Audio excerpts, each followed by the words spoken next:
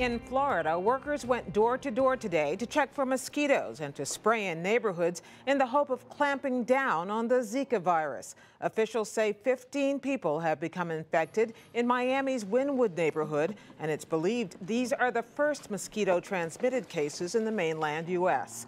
The CDC says the mosquitoes are proving harder to eradicate than expected. For an on the ground look, I'm joined by Alina Hudak, the deputy mayor of Miami Dade County. Thank you for joining us.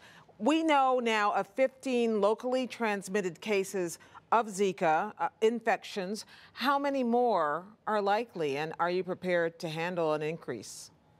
Gwen, thank you for the opportunity um, to speak um, tonight to you and, and, to your viewers. Um, I'd like to clarify first and foremost that the confirmed cases in Miami-Dade County are 12. Um, I, I, we, I want to reiterate and really just be very clear about our mosquito control program here in Miami-Dade County. We have a very strong and aggressive program that we've had in place since 1935. We have many years of a proven um, track record in managing and, and controlling disease. We work together with our Department of Health, with the Department of Agriculture.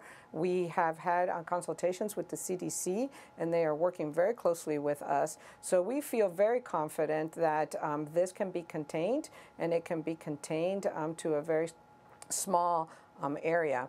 I, I, want the viewers to understand that we're talking about one square mile in a community that's over 2,000 um, square miles, and I think that's important for context and for um, for people to understand exactly the area that we're talking about. Why is it confined so far to this one area, the Wynwood, which contains an art district and attracts people from outside of the neighborhood? Why, why there?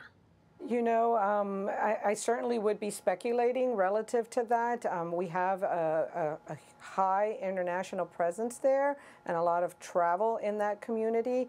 Uh, it is unknown exactly how it is that the transmission takes place, and obviously there is a lot of focus on the mosquito, but there are many unknowns about this disease.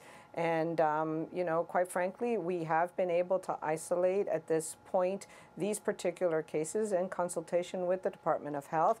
Our crews are there every single day and have been on the ground from day one. The moment that a suspected case is identified, our crews are there. They do inspection, they do treatment, and um, we have, again, a very aggressive um, program. In addition yeah. to that, mm -hmm. we have a very aggressive outreach program to our residents, and we are communicating with our residents regularly about the part and the role that they play in being our partner um, with this. We want and what are, our, and pardon me, what are you asking them to do?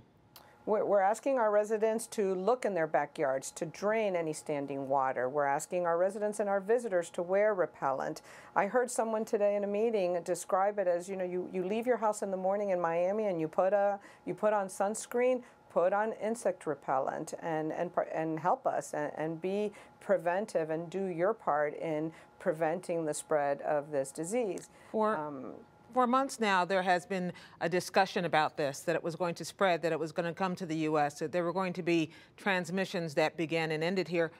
Why could this not have been avoided well, you know, I, I, would say to that that we have disease in the world um, for millions of years, and that we have mosquitoes in in in the world for millions of years. Um, we again, since February, when our governor declared um, a public health concern, an emergency, our our program you know, continues to do all of the things that we do on a regular basis, not only in responding to service requests from our community, but in working with the Department of Health and making sure that at any point that there was a suspicion of a case, that we were out in that particular area, in that region, that we do inspections and that we do treatment.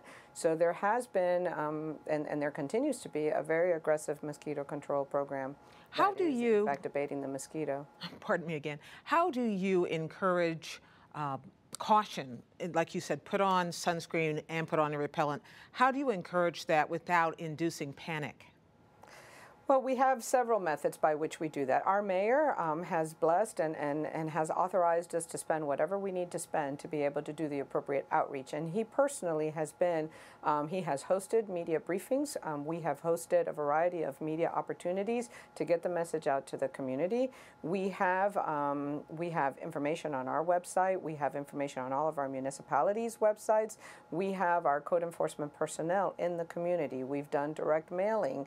Um, to our community.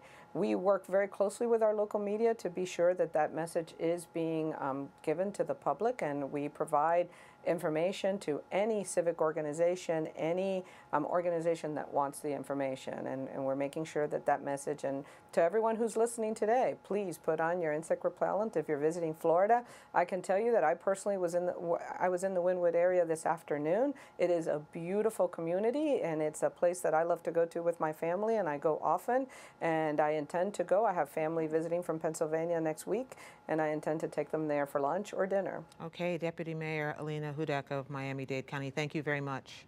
Thank you.